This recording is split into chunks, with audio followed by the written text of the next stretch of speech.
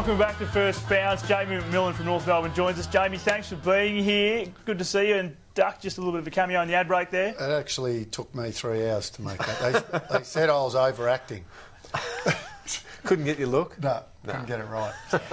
Hey, Jamie, thanks for being here. Uh, lots to be excited about at North Melbourne. Everyone, I guess, or particularly North Melbourne fans, want to see you guys take the next step this year. You've been in the news all summer about the leadership group. Uh, was it going to be um, Andrew? Was it going to be Jack? And then the day of the announcement, all the media were invited down, and it was like waiting for the result of the new Prime Minister. You all went into a locked room. And it was meant to be five, a five-minute meeting with Scotty, and 45 minutes later you emerged, and it's status quo. What were you talking about for all that time?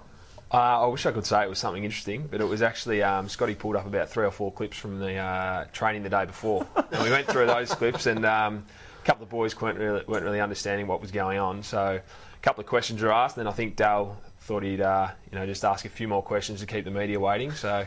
Yeah, no, unfortunately it wasn't anything special. And then at, literally at the end, for about, it would have gone for three minutes, I reckon, the, the announcement, Scotty said, this is our leadership group and, um, and Andrew Swallow is going to be captain. No surprise, really, as far as the players are concerned, despite all the talk in the media. No, no surprise really. I think it all sort of came about last year. Uh, someone actually asked Andrew Swallow, "Are you going to be captain next year?" And he said, "Oh, um, you know, we'll just decide over the over the next sort of three or four months." And it just sort of went from there. But we went through the process we've gone through every year, and this year it was probably a little bit a longer process. And um, yeah, it wasn't any surprise to us. Jay McMatty just mentioned the fact North Melbourne want to take that next step, and uh, obviously two preliminary finals in a row now.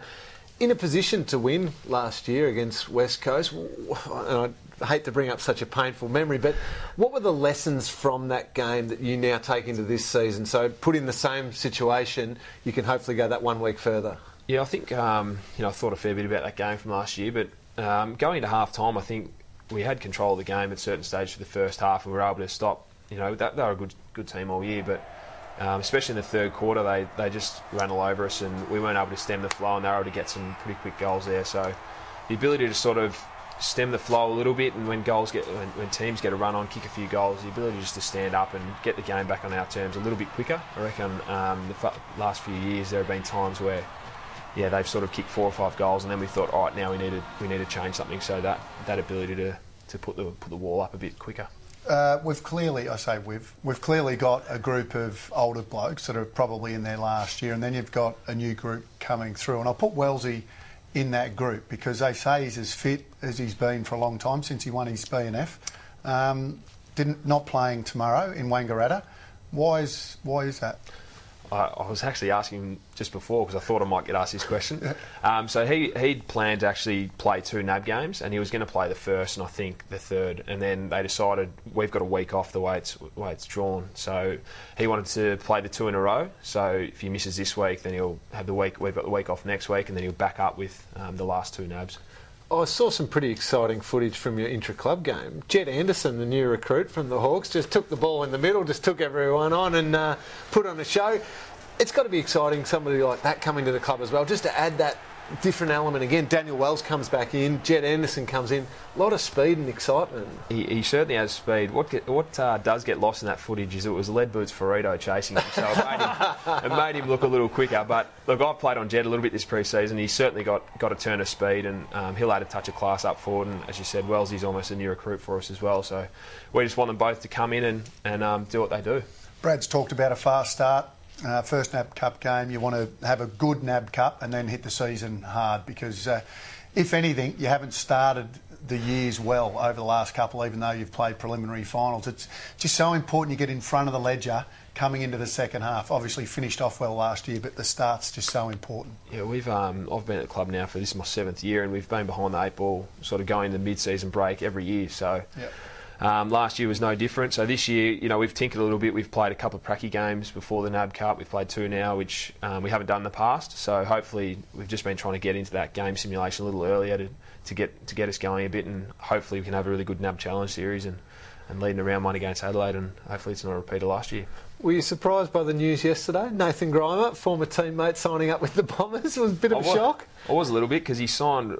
What was yesterday? Yesterday was Thursday, and I saw him in that uh, in that club Wednesday afternoon. So So he wasn't joking when he said he was in at the club two days ago. no, no, he's, he's been in there. So he's um, he's employed by North Melbourne. So he's been tapping away at his computer upstairs. I saw him the other day when I did that film. filming. No, he's um, he looks very odd in a suit upstairs, but he, he has been given a desk up there. So, no, you are a little bit surprised because you know from I saw firsthand what he went through last year, but I also know what kind of bloke he is, and he's as competitive bloke as they come. And if he feels his body's right to go, then I'm I'm not really one bit surprised that you know when given the opportunity, he's jumped at it. We spoke about this last night. This time of year, you sit around, we all say, oh, you know, we, we can play finals footy.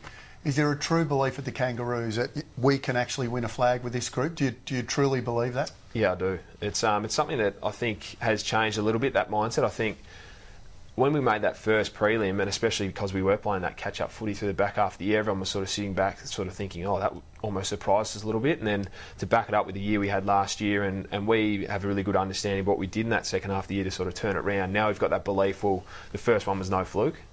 Um, so I think going into this year, we especially. Uh, or the sort of last two months when we've been training, I, I really feel amongst the group and the experienced guys have really led the way that we're training to, to play in a grand final this year and win one.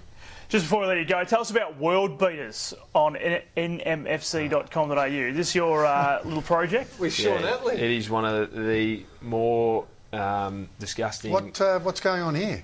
That's a world record attempt by myself. Um, How many I don't know if anyone's ever tried that, but that is um, in a minute you have to get 52 pegs on your face. Did you Now- beat the world record? I got to 28 and I thought I was flying. So it is. His name's Silvio something or other, and I'm not sure how he did it, But I but. think you need a bit more loose skin on your face. Oh, I actually thought I had it. And that's one of my strengths, the, the, the, the skin there. But um, Just tried a few years after you've retired and you've Yeah. yeah. Yeah. the kilos. yeah, maybe when I hit about 70, 75, it might uh, might go on a little easier. But yeah, it was something the club asked us to do, and um, at the time I thought it would be a bit of fun, and it actually turned out a lot harder than I thought. Jamie, great to see you. Thanks so much for joining us. Good luck tomorrow, good luck for the season, and we'll talk soon. Cheers, guys. Jamie Macmillan from North Melbourne, good enough to be with us in the studio here on